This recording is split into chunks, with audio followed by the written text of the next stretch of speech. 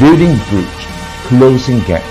with the purpose of understanding how can the church cross into the cultures of another culture and seeing the gaps that we are trying to fill in meeting the needs of these people that God has placed in our land.